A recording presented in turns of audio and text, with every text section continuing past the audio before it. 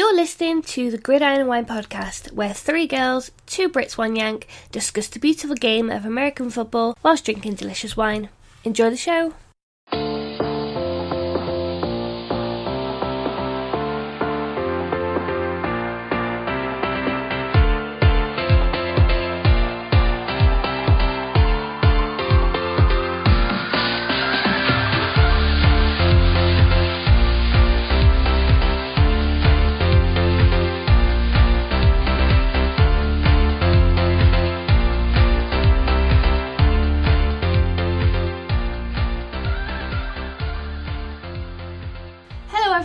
Welcome back to the Gridiron and Wine podcast. I'm Liz, aka NFL Girl UK, and with me are my co hosts Dayna from Our Turf Football and Shona from 99 Yards. In this episode, we'll be discussing the Pro Bowl players who've just been announced, the current standings and playoff picture, and as we always do, we'll go through our listener questions at the end. But first, we need to say congratulations and raise a toast because on Sunday it was announced that the Heisman Trophy, which is the most prestigious award in college football, was awarded to Joe Burrow. Joe is the quarterback for Louisiana State. Uh, Burrow from Athens in Ohio is the second LSU player to win the trophy and the first since the late Billy Cannon did so in 1959. His Heisman triumph makes him the third consecutive player to win the award and seventh overall. He had an extraordinary season, passing for 4,715 yards and 48 touchdowns, whilst adding another 280 yard and three scores on the ground. He had a remarkable completion percentage of 77.9%, which is the best in Heisman history. As the field general for the nation's top defense, he led the number one LSU to a 13 0 record, the SEC title, which is the first since 2011, and its first berth in college football playoff. So, Joe, here's to you. Congratulations. And ladies, let's say cheers. Cheers, Joe. Congratulations. Cheers, Joe. Well done. This week, the 2020 Pro Bowl players were announced. The game is an AFC versus NFC matchup and takes place at Camping World Stadium in Orlando on Sunday, the 26th of January. For those unfamiliar with the Pro Bowl, the players are determined by a consensus vote of fans, players, and coaches. Each group's vote counted one third towards determining the 88 All Star players who were selected for the Pro Bowl. So, 30 teams had at least one player selected, and 24 clubs had multiple players chosen as All Stars. The Ravens, including second year quarterback Lamar Jackson, placed a league best of 12 players on the roster, whilst the New Orleans Saints led the NFC with seven players selected. 25 of the players selected are first time All Stars. This includes three rookies defensive end Nick Bosa for 49ers, return specialist Mecole Hardman for Chiefs, and return specialist Deonte Harris for the Saints.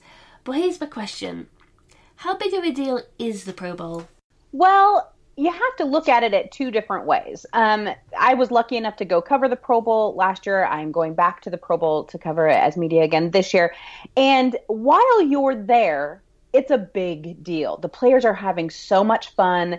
They're goofing off on the field. They have, you know, they get to play with players from other teams and they get to, you know, goof off. It's very fun, lighthearted, kind of a silly atmosphere because there is no weight behind the game. It's really just a week or so vacation for these players. Now that's not all they do. They also do some great community events. They do all kinds of things for charities. It's it's really a, a full week of events.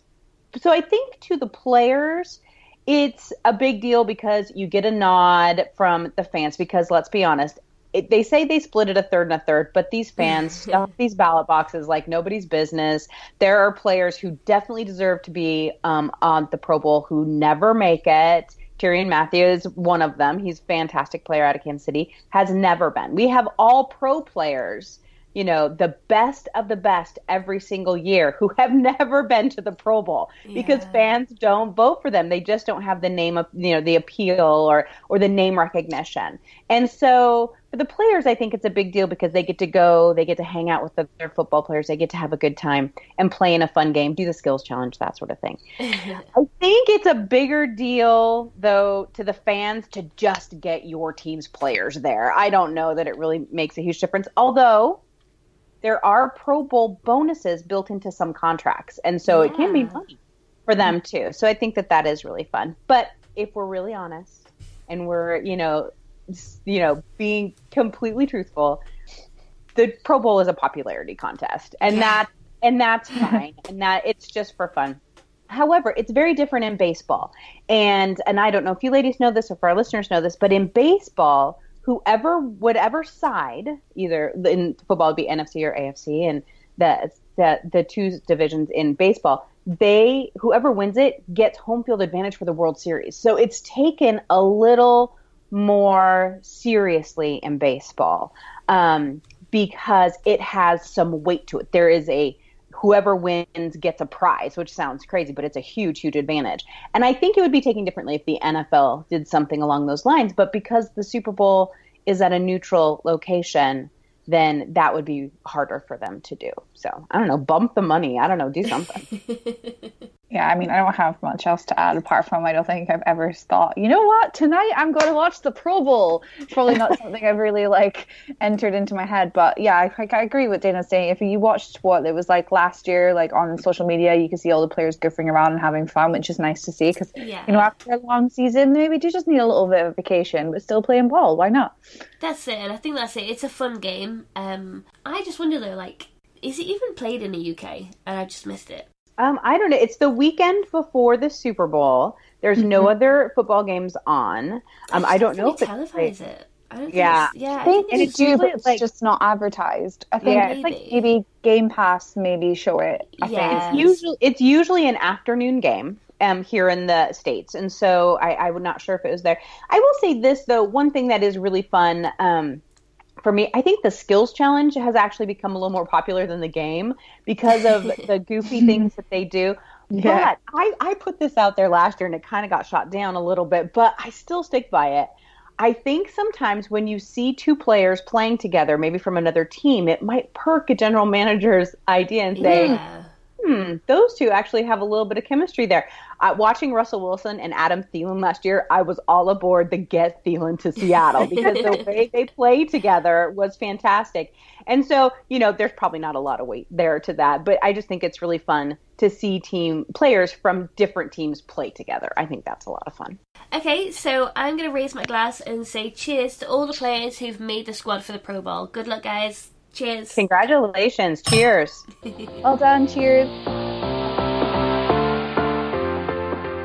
Okay, so who would think by December that we would be saying the NFC East is as close a division as it is right now, with the Dallas Cowboys and the Eagles on seven and seven? Um, wherever we look at it, whoever wins this one will be heading to the playoffs with a slightly off record. But who is to say that none of these teams will win a playoff game? Like we've seen this before with the Carolina Panthers in 2014, and obviously the um, Seattle Seahawks did it in 2010. So the Cowboys and Eagles play each other this Sunday, um, and it's a must-win game for both. Um, so I'm pretty sure that everyone will feel like it's quite a tantalizing game um, coming into that because we never expected their records to be quite like this. I well, I think anyway by December. Um, I can also claim I will die on this hill. That this season. The NFC West, uh, NFC North, and AFC East have been fantastic to watch. Um, now, as all NFL fans, I'm sure, even if you're neutral or you do support these teams, they're all waiting for that showdown between Seattle and the 49ers on December 29th and I can bet my donkey Sherman is returning for that game. uh, in the NFC North, Aaron Rodgers is brought in brought into a more balanced approach from um, Mike LaFleur, so that's obviously helped him. And Kirk Cousins is also enjoying a prosperous 2019.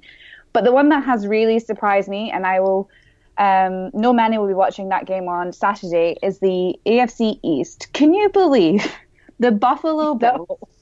The little brother team, the one team that everyone roots for, could potentially be challenging the New England Patriots for that title. Like, how has this happened?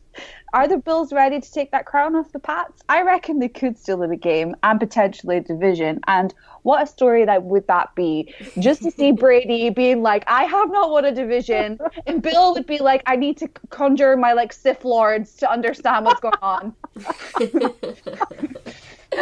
oh, I love it. My question for you both is who sits pretty at the top of the Christmas tree at the end of the uh, season? Who takes that title? Ooh. Well, that is a tough one to say the least. So I- I think if you're looking at it, I, I agree with you in that I believe the NFC West, I just wrote an article about this. The NFC West is probably the most competitive division right now.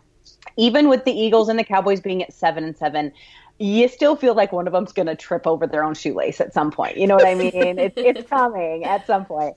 Um, and so then you have, you know, the, the AFC East. And I will tell you, I am so thrilled for Bills fans to Me be right there in the mix. It's so good. It's about time someone, you know, we had a changing of the guard and we knew it was coming, right? Brady cannot play till he's 80. So therefore, we knew it was coming at some point.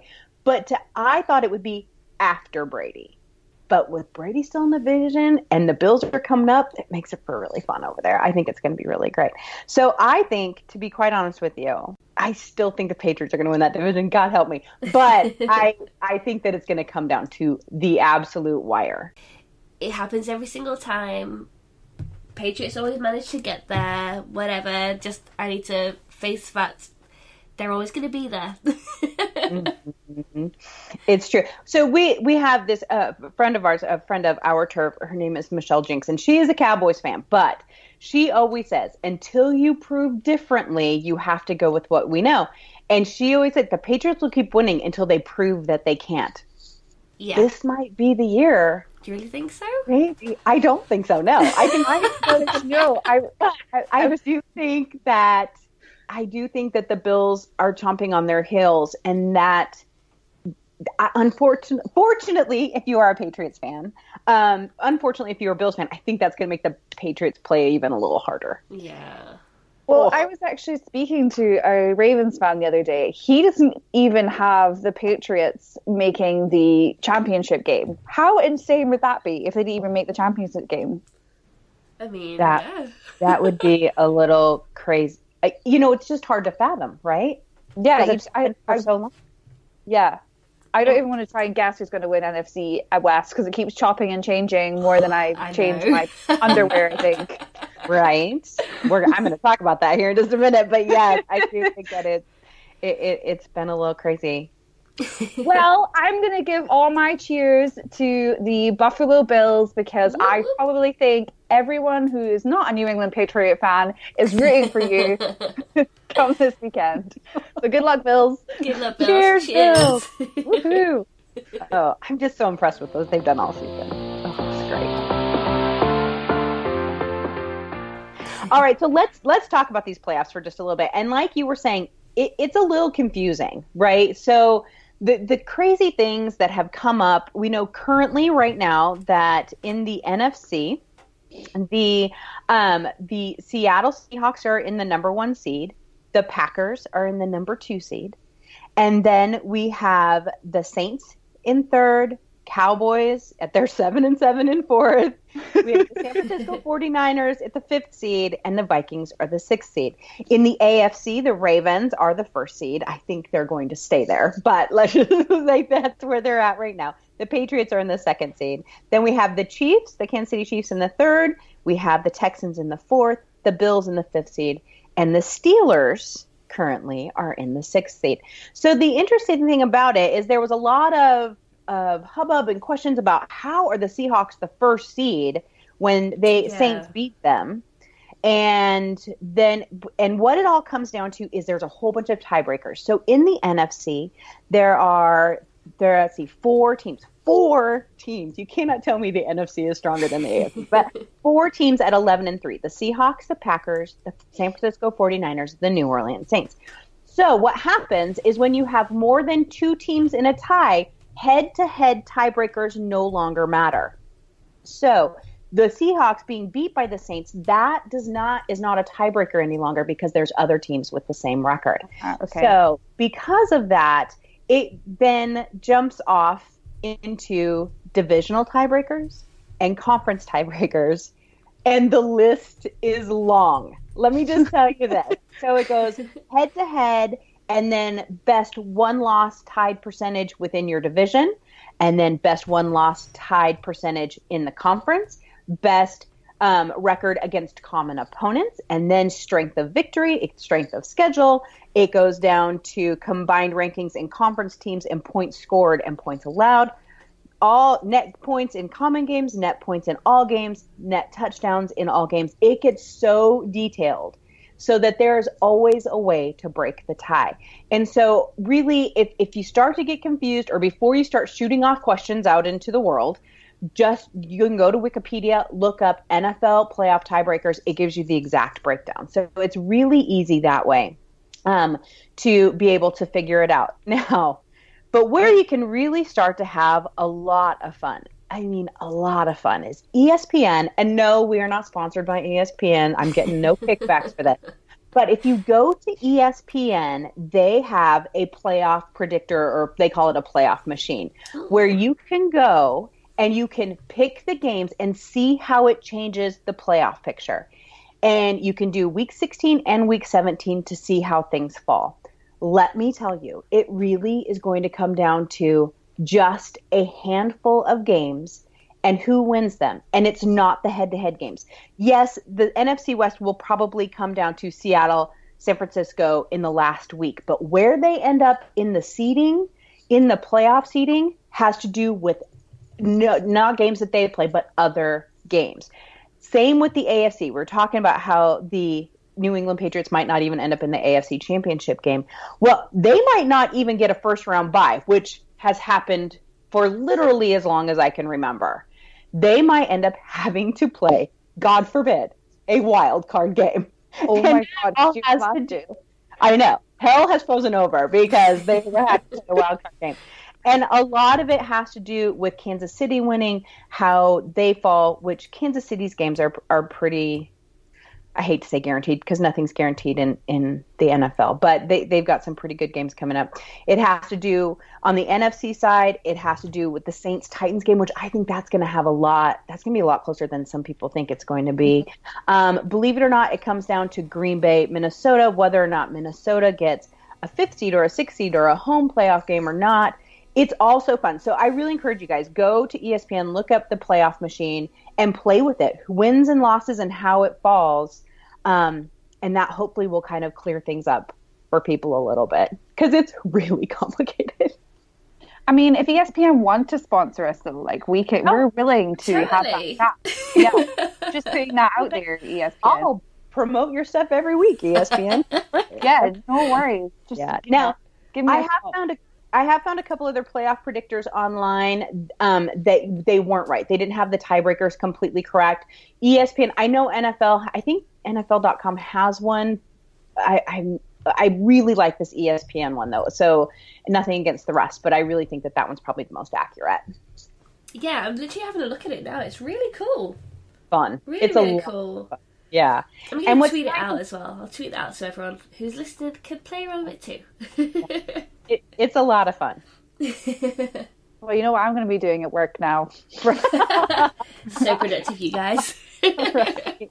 Right. I'm joking. I'm joking, bosses. I will be subbing the pages too. oh, sure. wink, wink. Nudge, nudge. all right. So I want to say, first of all, cheers to everyone who's e- all the teams that are even in the hunt right now because this has been a wild, wild season. And cheers to ESPN for putting out a very fun playoff predictor. Cheers. Cheers. Cheers.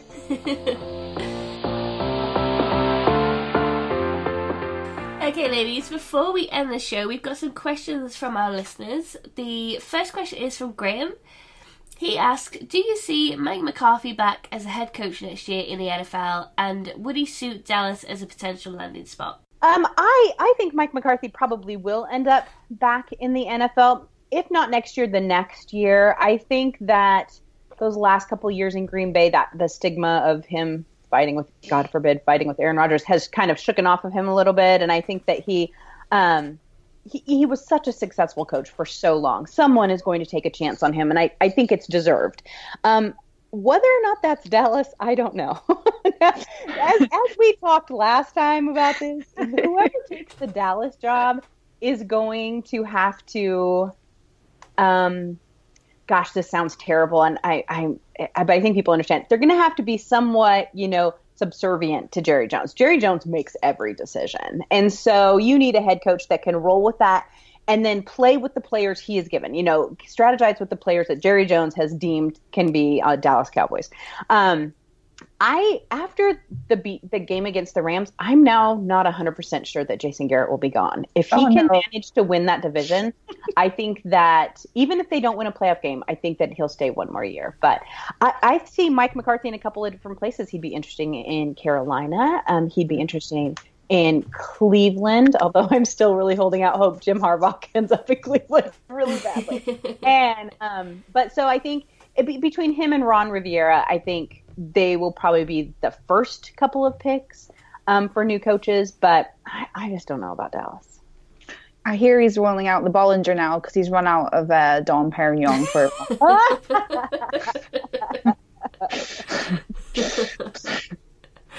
And our second question uh, comes from Brit NFL, uh, who asks and we have to be careful with this one because it's just going to sound like we don't like the Patriots, which you know everyone knows we don't. Uh, what's your unbiased view of Spygate 2? Having now seen the footage, should Pat be punished? Here's my issue. This is not the first time they've cheated. Do I nope. think they will be punished? Maybe not as not as extreme as I think they should be. What I think is if they can film the Bengals, who were on a who did not win a game at that point from the sideline to look at what they were doing for their play cards. Yeah. What are they doing to teams like the 49ers or the Chiefs or you know the Seahawks or Packers, all these teams who are the Ravens, all these teams who are with winning records and you know grinding out a play that's working for them and it's effective. They're doing this against the Bengals and they've been caught doing it. I, I just can't fathom the thought process. I can't. Yeah. I just don't understand why you would even think to do it in the first place. Well, let me tell you. so, Here it goes. Bill Belichick, Bill Belichick has always been known for someone who takes every advantage that he can, which he should. To be honest with you, as a coach, you will of course want to get every single advantage you can. Yeah. But he pushes every rule, quote unquote, to its absolute, you know, limit, and then pops right on over it sometimes, over the line, you know, and so they have been caught doing that. Um, there's an article that came out today saying that they've been recording people, you know, for years. Now, granted, the rule didn't start. I think that you couldn't record in certain places didn't start till 2006, after the last time they got caught recording. but um, the the thing of it is, is that does does this change who was on his team? No, it doesn't take away that Tom Brady is still one of the greatest quarterbacks of all time. It doesn't take away that he still can build a defense, but it gives them a tactical advantage.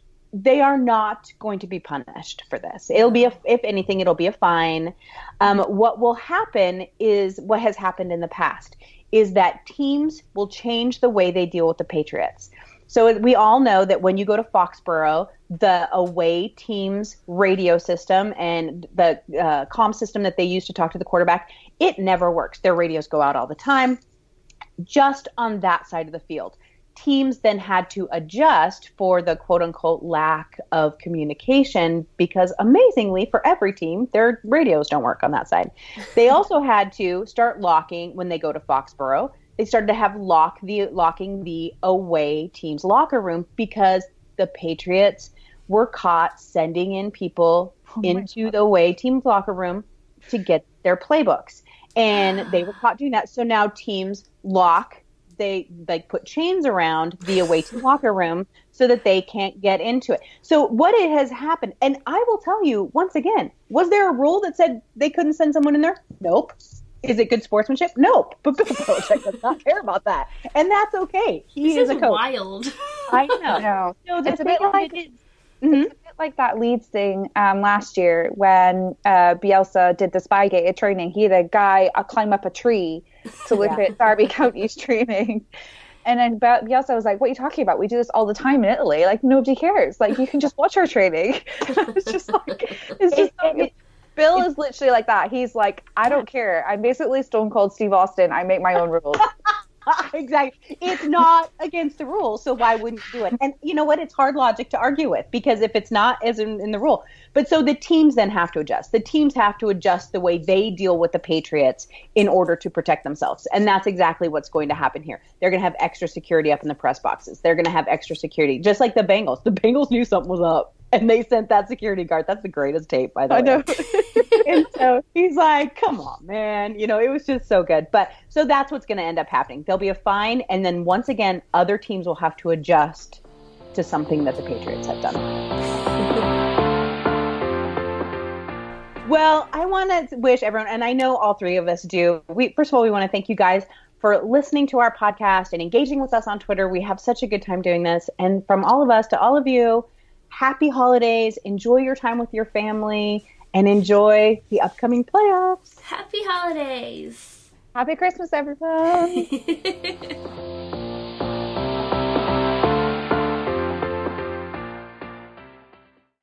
That's all for this week's episode of Gridiron and Wine. Thank you to everyone for tuning into our podcast. If you liked what you heard, be sure to rate, review, subscribe, and of course, tell a friend about the show. Until next time, thanks for listening.